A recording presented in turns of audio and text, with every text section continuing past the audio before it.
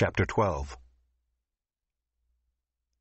Therefore, since we are surrounded by so great a cloud of witnesses, let us also lay aside every weight and sin which clings so closely, and let us run with endurance the race that is set before us. Looking to Jesus, the founder and perfecter of our faith, who for the joy that was set before him endured the cross, despising the shame, and is seated at the right hand of the throne of God. Consider him who endured from sinners such hostility against himself, so that you may not grow weary or faint-hearted. In your struggle against sin, you have not yet resisted to the point of shedding your blood. And have you forgotten the exhortation that addresses you as sons? My son, do not regard lightly the discipline of the Lord, nor be weary when reproved by him. For the Lord disciplines the one he loves, and chastises every son whom he receives. It is for discipline that you have to endure. God is treating you as sons. For what son is there whom his father does not discipline? If you are left without discipline in which all have participated, then you are illegitimate children and not sons. Besides this, we have had earthly fathers who disciplined us, and we respected them. Shall we not much more be subject to the Father of spirits and live? For they disciplined us for a short time, as it seemed best to them. But he disciplines us for our good, that we may share his holiness. For the moment all discipline seems painful rather than pleasant, but later it yields the peaceful fruit of righteousness to those who have been trained by it. Therefore lift your drooping hands and strengthen your weak knees, and make straight paths for your feet, so that what is lame may not be put out of joint, but rather be healed. Strive for peace with everyone, and for the holiness without which no one will see the Lord. See to it that no one fails to obtain the grace of God, that no root of bitterness springs up and causes trouble, and by it many become defiled, that no one is sexually immoral or unholy like Esau, who sold his birthright for a single meal. For you know that afterward, when he desired to inherit the blessing, he was rejected, for he found no chance to repent, though he sought it with tears. For you have not come to what may be touched, a blazing fire and darkness and gloom and a tempest and the sound of a trumpet and a voice whose words made the hearers beg that no further messages be spoken to them for they could not endure the order that was given. If even a beast touches the mountain, it shall be stoned. Indeed, so terrifying was the sight that Moses said, I tremble with fear. But you have come to Mount Zion and to the city of the living God, the heavenly Jerusalem, and to innumerable angels in festal gathering, and to the assembly of the firstborn who are enrolled in heaven, and to God, the judge of all, and to the spirits of the righteous made perfect, and to Jesus, the mediator of a new covenant, and to the sprinkled blood that speaks a better word than the blood of Abel. See that you do not refuse him who is speaking. For if they did not escape when they refused him who warned them on earth, much less will we escape if we reject him who warns from heaven. At that time his voice shook the earth, but now he has promised, Yet once more I will shake not only the earth, but also the heavens. This phrase, yet once more, indicates the removal of things that are shaken, that is, things that have been made, in order that the things that cannot be shaken may remain. Therefore let us be grateful for receiving a kingdom that cannot be shaken, and thus let us offer to God acceptable worship with reverence and awe, for our God is a consuming fire.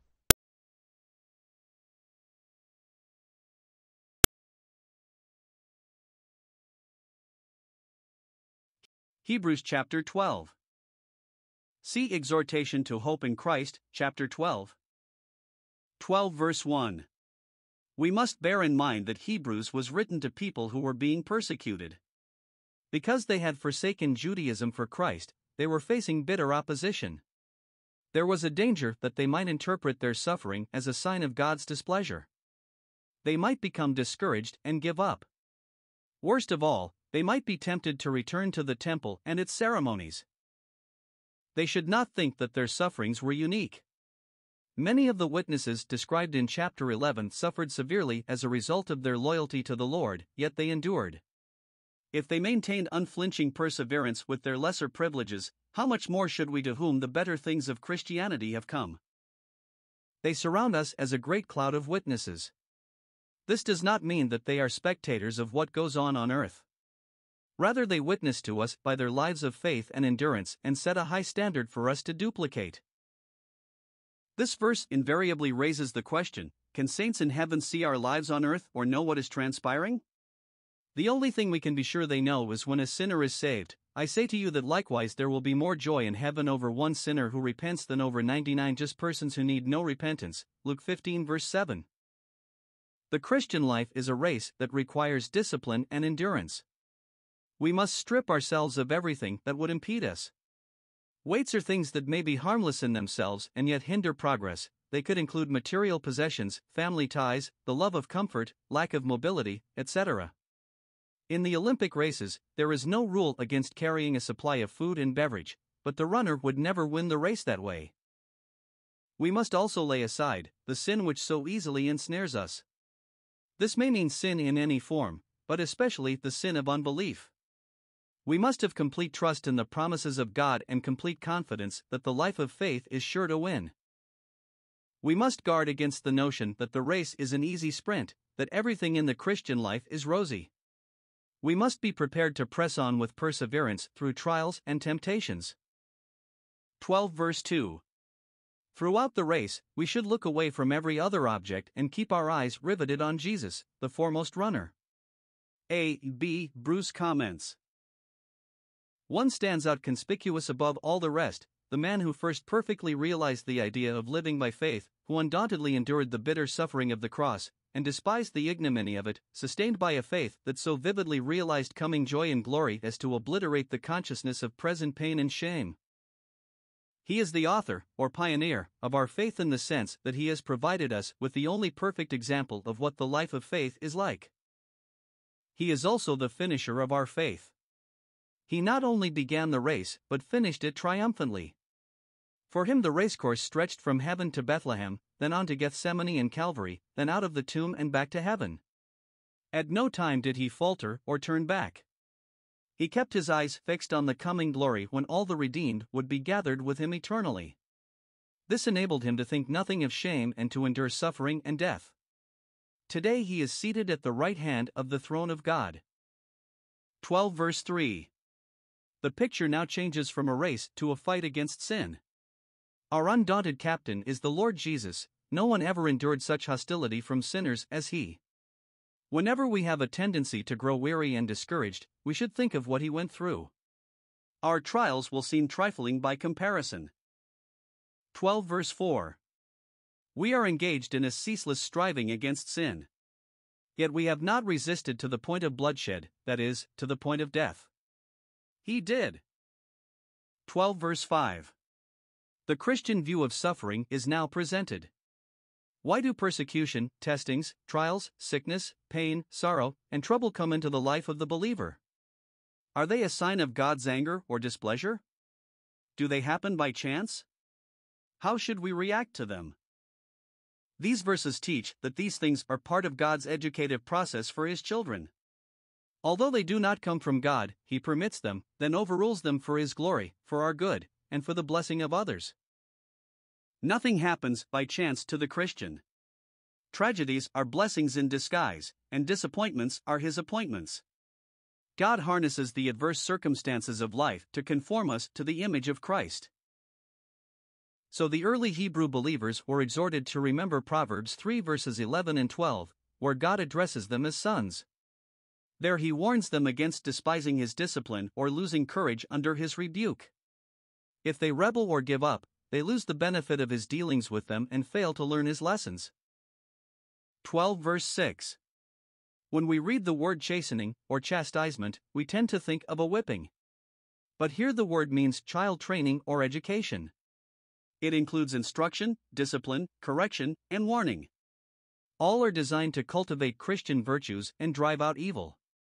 In this passage, the chastening was not punishment for wrongdoing, but training through persecution. The passage in Proverbs distinctly states that God's discipline is a proof of his love, and no son of his escapes chastisement. 12 verse 7 By remaining submissive to the chastening of God, we permit his discipline to mold us into his image. If we try to short circuit his dealings with us, he may have to teach us over a longer period of time, using more instructive, and consequently, more difficult methods. There are grades in the school of God, and promotion comes only when we have learned our lessons. So when testings come to us, we should realize that God is treating us as sons. In any normal father son relationship, the father trains his son because he loves him and wants the best for him. God loves us too much to let us develop naturally. 12 verse 8 in the spiritual realm, those who do not experience God's discipline are illegitimate children, not true sons. After all, a gardener does not prune thistles, but he does prune grapevines. As in the natural, so in the spiritual. 12 verse 9. Most of us have experienced discipline from our human fathers. We did not interpret this as a sign that they hated us. We realized that they were interested in our welfare, and we paid them respect. How much more should we respect the training of the Father of spirits and live? God is the Father, or source, of all beings that are spirit or that have a spirit. Man is a spirit dwelling in a human body. By being subject to God, we enjoy life in its truest sense. 12 verse 10. The discipline of earthly parents is not perfect. It lasts only for a time, that is, during childhood and youth. If it has not succeeded, then, it can do no more. And it is as seemed best to them, according to what they think is right sometimes it may not be right. But God's discipline is always perfect. His love is infinite and His wisdom is infallible. His chastenings are never the result of whim, but always for our profit. His objective is that we may be partakers of His holiness. And godliness can never be produced outside God's school. Jowett explains The purpose of God's chastening is not punitive but creative. He chastens that we may share His holiness.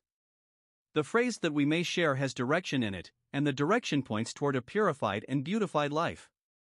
The fire which is kindled is not a bonfire, blazing heedlessly and unguardedly, and consuming precious things, it is a refiner's fire, and the refiner sits by it, and he is firmly and patiently and gently bringing holiness out of carelessness and stability out of weakness. God is always creating even when he is using the darker means of grace he is producing the fruits and flowers of the Spirit. His love is always in quest of lovely things. 12 verse 11. At the time, all discipline seems painful. But it yields the peaceable fruit of righteousness to those who have been trained by it. That is why we often come across such testimonies, like this, by Leslie Weatherhead. Like all men, I love and prefer the sunny uplands of experience, where health, happiness, and success abound, but I have learned far more about God and life and myself in the darkness of fear and failure than I have ever learned in the sunshine. There are such things as the treasures of darkness. The darkness, thank God, passes. But what one learns in the darkness one possesses forever. The trying things, says Bishop Fenelon, which you fancy come between God and you, will prove means of unity with Him, if you bear them humbly. Those things that overwhelm us and upset our pride do more good than all that which excites and inspirits us. Or consider the following testimony by C. E. H. Spurgeon. I am afraid that all the grace I have got out of my comfortable and easy times and happy hours might almost lie on a penny. But the good that I have received from my sorrows and pains and griefs is altogether incalculable. What do I not owe to the hammer and the anvil, the fire and the file? Affliction is the best bit of furniture in my house. 12 verse 12. Believers should not cave in under the adverse circumstances of life, their lapse of faith might have an unfavorable influence on others. Drooping hands should be reinvigorated to serve the living Christ. Feeble knees should be strengthened for persevering prayer. 12 verse 13. Faltering feet should be guided in straight paths of Christian discipleship. Williams writes All who follow the Lord fully smooth the path of faith for feeble brethren, but those who do not follow fully roughen the path for others' feet and create spiritual cripples. G. H. Lang gives a fine illustration. A weary traveler, tired of the road and the buffeting of the tempest, stands dispirited and limp. With shoulders bowed, hands hanging slack, knees bent and shaking, he is ready to give up and sink to the ground. Such can God's pilgrim become, as pictured by our writer. But one comes to him confident of mien, with kindly smile and firm voice, and says, Cheer up, stand erect, brace your limbs, take heart of grace. You have already come far, throw not away your former toils. A noble home is at the end of the journey. See, yonder is the direct road to it, keep straight on, seek from the great physician healing for your lameness. Your forerunner went this same hard road to the palace of God, others before you have won through, others are on the way, you are not alone, only press on. And you too shall reach the goal and win the prize. Happy is he who knows how to sustain with words him that is weary, Isaiah 50 verse 4. Happy is he who accepts exhortation, Hebrews 13 verse 22. And thrice happy is he whose faith is simple and strong, so that he finds no occasion of stumbling in the Lord when his discipline is severe. 12 verse 14. Christians should strive for peaceable relations with all people and at all times. But this exhortation is especially needful when persecution is prevalent, when some are defecting from the faith, and when nerves are frayed. At such times, it is all too easy to vent one's frustration and fears on those who are nearest and dearest. We should also strive for the holiness without which no one will see the Lord. What is the holiness referred to here? To answer the question, we should remind ourselves that holiness is used of believers in at least three different ways in the NT. First of all, the believer becomes positionally holy at the time of his conversion, he is set apart to God from the world. 1 Corinthians 1 verse 2, 6 verse 11. By virtue of his union with Christ, he is sanctified forever. This is what Martin Luther meant when he said, My holiness is in heaven. Christ is our holiness, that is, as far as our standing before God is concerned. Then there is a practical sanctification, 1 Thessalonians 4 verse 3, 5 verse 23. This is what we should be day by day. We should separate ourselves from every form of evil. This holiness should be progressive, that is, we should be growing more and more like the Lord Jesus all the time. Finally, there is complete or perfect sanctification. This takes place when a believer goes to heaven. Then he is forever free from sin. His old nature is removed, and his state perfectly corresponds to his standing. Now, which holiness are we to pursue? Obviously, it is practical sanctification that is in view. We do not strive after positional sanctification, it is ours automatically when we are born again. And we do not strive after the perfect sanctification that will be ours when we see His face. But practical or progressive sanctification is something that involves our obedience and cooperation, we must cultivate this holiness continually. The fact that we must follow it is proof that we do not fully attain it in this life. See notes under 2 verse 11 for a more detailed description of the various aspects of sanctification. Wuest writes the exhortation is to the born again Jews who had left the temple, to live such consistent saintly lives, and to cling so tenaciously to their newfound faith, that the unsaved Jews who had also left the temple and had outwardly embraced the New Testament truth, would be encouraged to go on to faith in Messiah as high priest, instead of returning to the abrogated sacrifices of the Levitical system. These truly born again Jews are warned that a limping Christian life would cause these unsaved Jews to be turned out of the way. But a difficulty remains. Is it true that we cannot see the Lord without practical sanctification? Yes, there is a sense in which this is true, but let us understand that this does not mean that we earn the right to see God by living holy lives. Jesus Christ is our only title to heaven. What this verse means is that there must be practical holiness as a proof of new life within. If a person is not growing more holy, he is not saved. When the Holy Spirit indwells a person, he manifests his presence by a separated life. It is a matter of cause and effect. If Christ has been received, the rivers of living water will flow. 12 verse 15. The next two verses seem to present four distinct sins to avoid. But there is a strong suggestion in the context that this is another warning against the single sin of apostasy and that these four sins are all related to it. First of all, apostasy is a failure to obtain the grace of God. The person looks like a Christian, talks like a Christian, professes to be a Christian, but he has never been born again.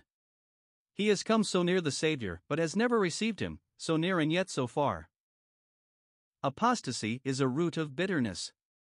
The person turns sour against the Lord and repudiates the Christian faith. His defection is contagious. Others are defiled by his complaints, doubts, and denials. 12 verse 16.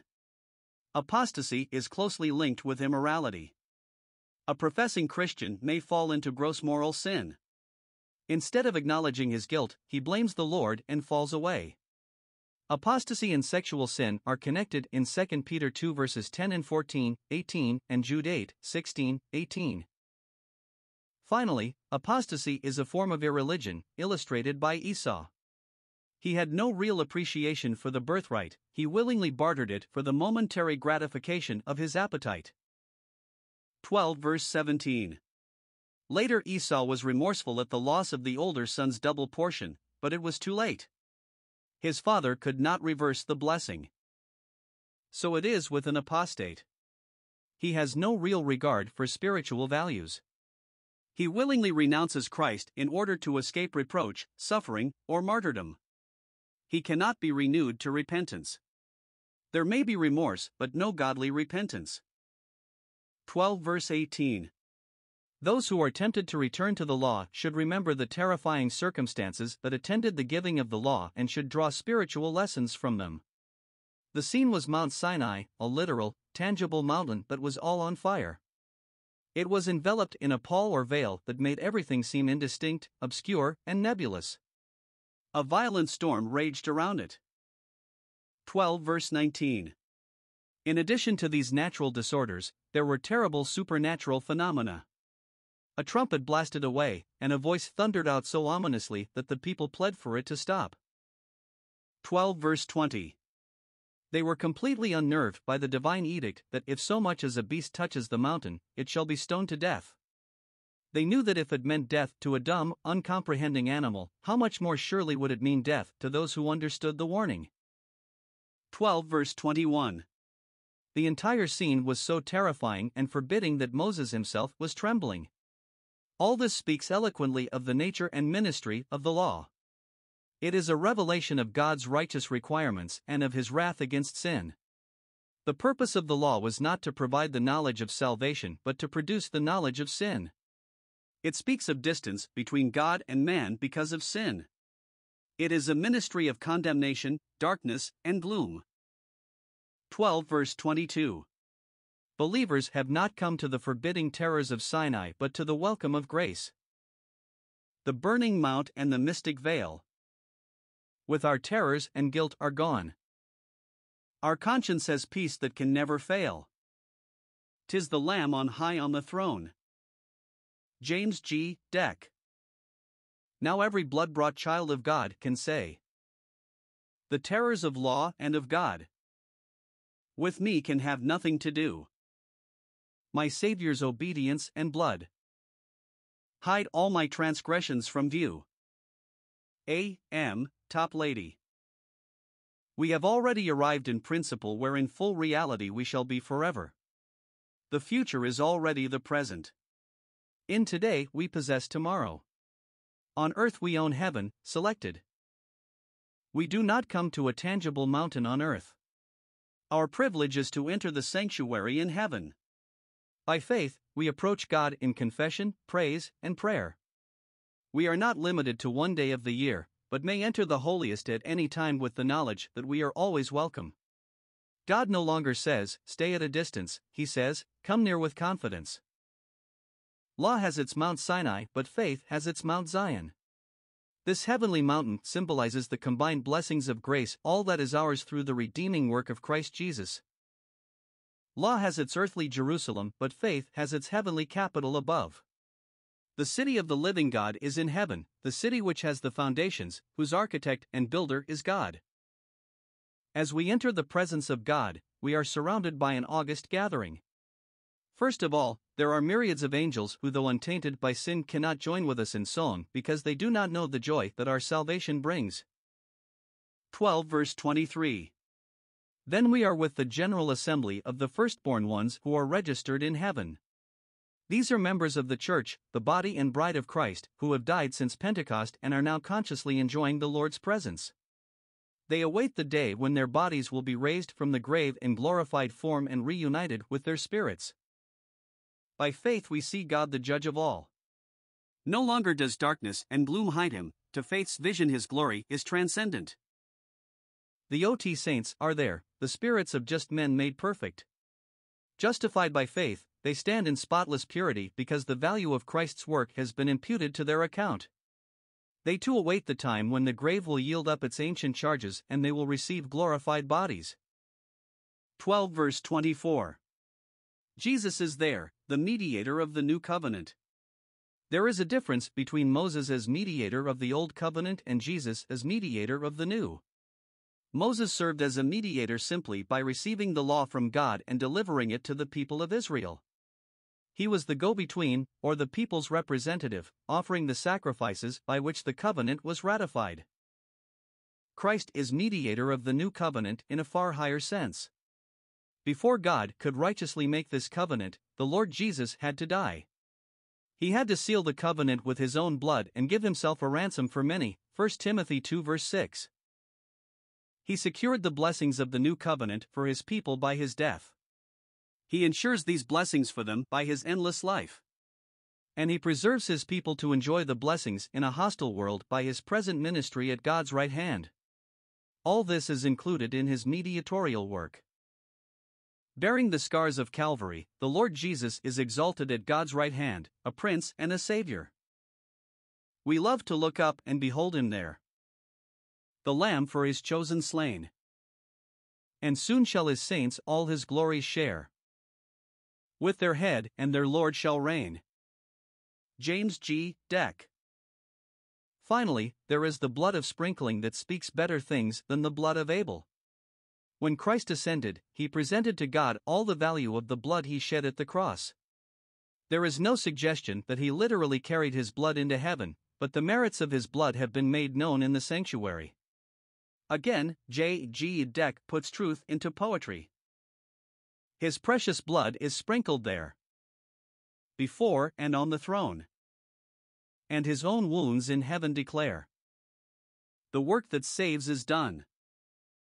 His precious blood is contrasted with the blood of Abel.